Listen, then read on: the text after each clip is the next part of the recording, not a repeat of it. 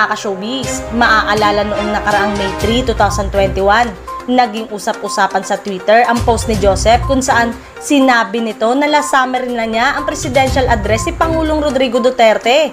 Ang unang espekulasyon ng ilang netizen ay baka raw lilipat na ito ng network.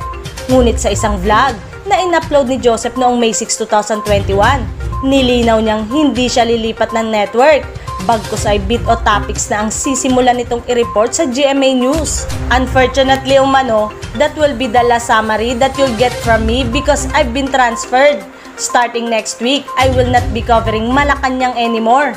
Ngunit ang ilang netizens ay nagsabi na maaari ang naging dahilan ng pagkalipat ng GMA News kay Joseph sa Malacanang Beat ay ang naging fact-checking report nito sa saksi tungkol sa pagresponde ng gobyerno sa pandemic.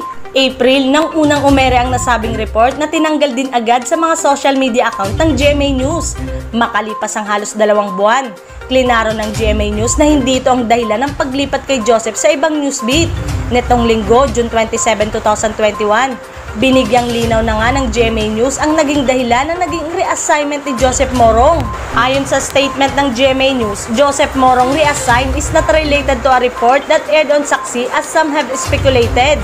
Saksi producers wrote that report and Joseph was just asked to voice it. Hindi umano ito ugnay sa nasabing issue sa gobyerno. Binigyan daw si Joseph ng isa pang assignment, isang paglipat na karaniwan sa karamihan. Kung hindi lahat, mga solid balita kung saan ang mga reporter ay hindi mananatili sa isang point lamang ang kanilang buong karera.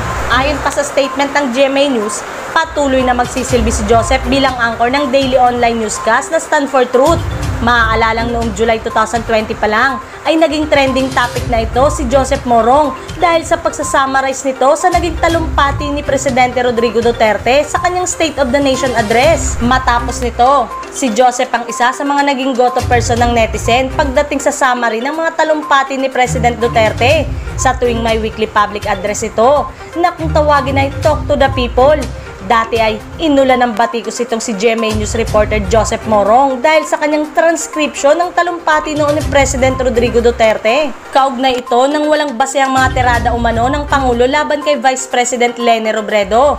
May tweet din si Morong tungkol sa patutsada ng Pangulo na kung sakaling mahalal na presidente ng bansa si Robredo ay maaari itong bumili ng sangkatutak na swimsuit panlusong sa baha sa panahon ng sakuna. January 6, 2021 pa nga lang ay agad naman ang unang inanunsyo ng GMA News ang pagpalit ni Joseph kay Atom bilang anchor ng Stand for Truth. Natakot nga kaya ang GMA News na matulad sa ABS-CBN dahil sa birada ng kanilang news team tungkol sa Pangulong Duterte? Anong opinion nyo sa balita natin mga ka-showbiz? Magbigay lamang po tayo ng komento at opinion. At kung bago ka lang sa aking channel, ay huwag mong kalimutang mag-like at mag-subscribe. At pindutin mo na rin ang notification bell button para updated kayo sa mga showbiz balita. So that's it mga ka-showbiz. Hanggang sa muli. Thanks for watching.